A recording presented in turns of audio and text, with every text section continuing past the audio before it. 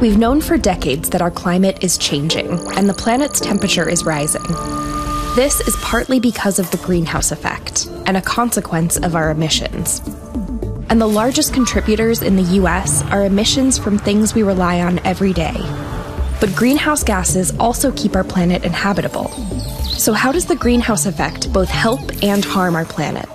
And how did it get so off balance? The temperature on Earth is regulated because of our atmosphere, the jacket of gases that surrounds the planet like a greenhouse. It allows some of the sun's energy to pass through to the Earth's surface, where it's absorbed and heats the planet. When that energy radiates back up into the atmosphere, 90% is absorbed by gases and continues warming the Earth. This is the greenhouse effect, and it's what allows life to thrive here. But the increase in greenhouse gas emissions from human activity has led to extra trapped heat and higher global temperatures, and what we now call global warming. So the same effect that keeps our planet alive is also what's damaging it.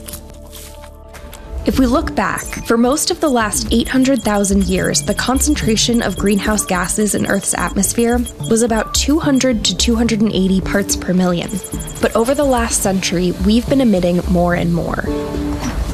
In 2019, humans were pumping out 36.7 billion tons of CO2.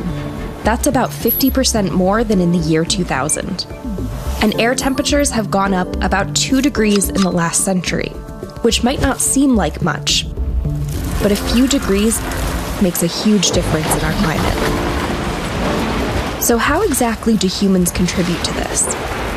We all leave a carbon footprint by participating in systems that release carbon dioxide and other greenhouse gases into the atmosphere.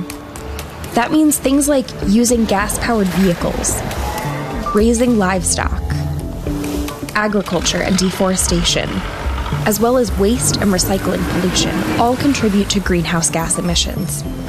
And the burning of coal, oil, and natural gas to produce electricity and heat accounts for one quarter of worldwide human driven emissions. In the past, economic progress has come with an environmental cost, which means if the world continues with business as usual, emissions will keep rising. So, what can we do? To actually see change, greenhouse gas emissions need to be reduced on a global scale.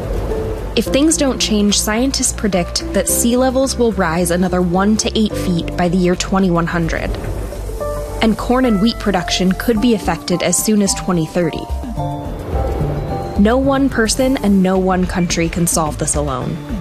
But by prioritizing climate policies and by finding renewable energy alternatives and ways to remove greenhouse gases already in the atmosphere, we can make a difference in stopping climate change.